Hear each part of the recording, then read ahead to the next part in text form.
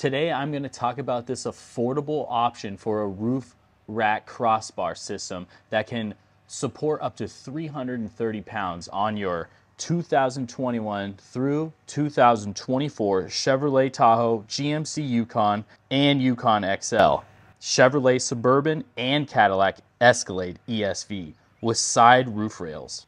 All right, I picked up these crossbars on Amazon.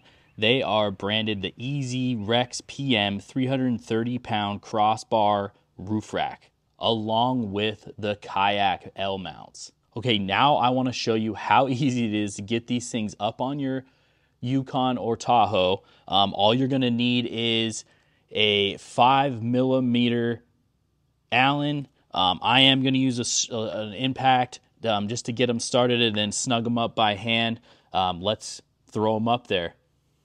Okay, once they are pre-assembled, you're just gonna want grab either one. Um, they do move here, so it makes installation super easy.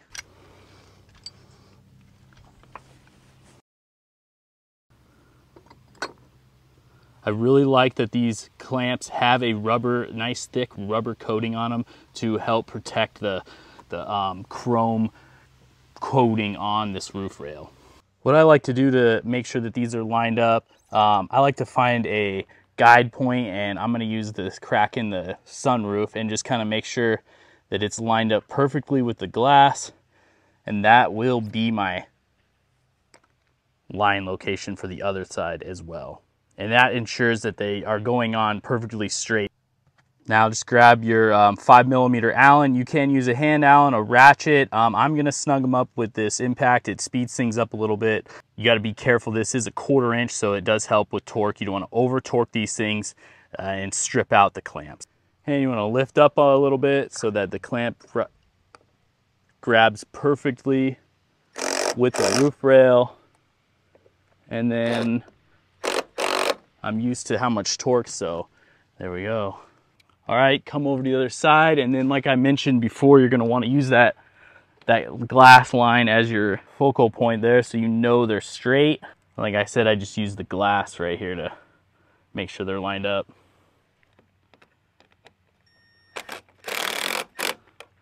Go. Just wanna make sure that they grab him right underneath that little lip on the rails. Just feeling there, good to go.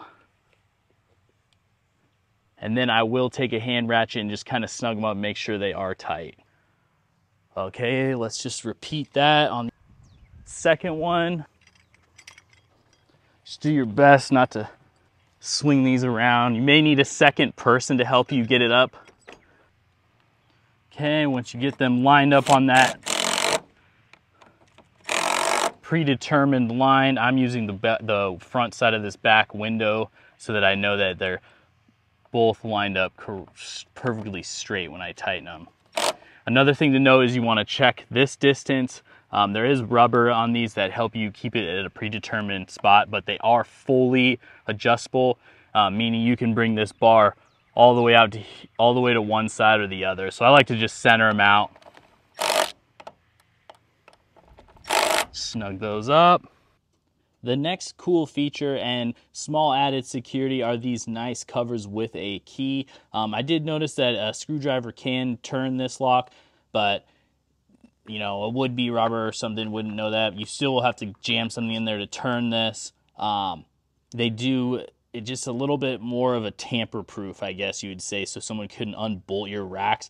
Um, in my opinion, they don't really do a lot, but it is nice that they lock on there um, just for a better trim and appearance look on the clamp. Let's get them on. You know, they just slide right over and then you lock just like that. And then that's how you can take them off. Just pop right off and back on. Pretty cool. Makes it look nice and sleek. Now that we got these crossbars and kayak mounts all set up and installed. Let's get the kayaks up on the new mounts and go do some real world test driving with the kayaks on.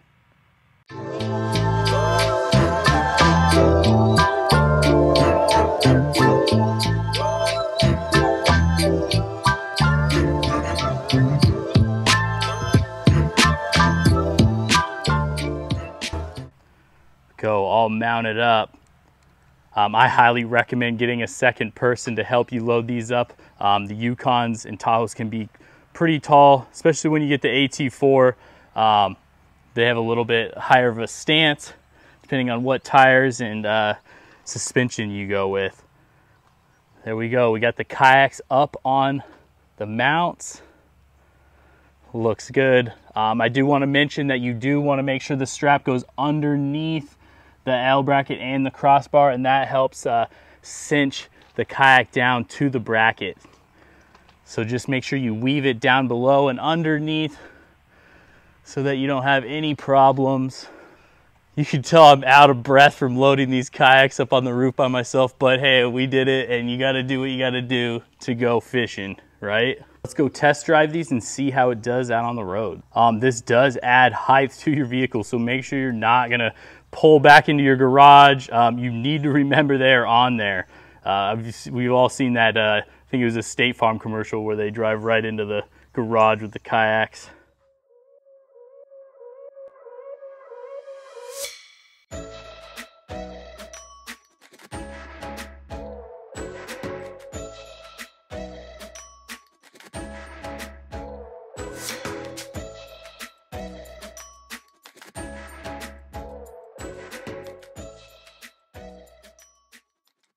All right, the test drive went great. Um, like I showed you in the test drive film, um, I took it up to 50 miles an hour just now. I have taken these kayaks on two trips now and went over speeds of 60 to um, 60 to 70 miles an hour and they handled just fine. Um, there you go. Check out the links in my description where you can get these things.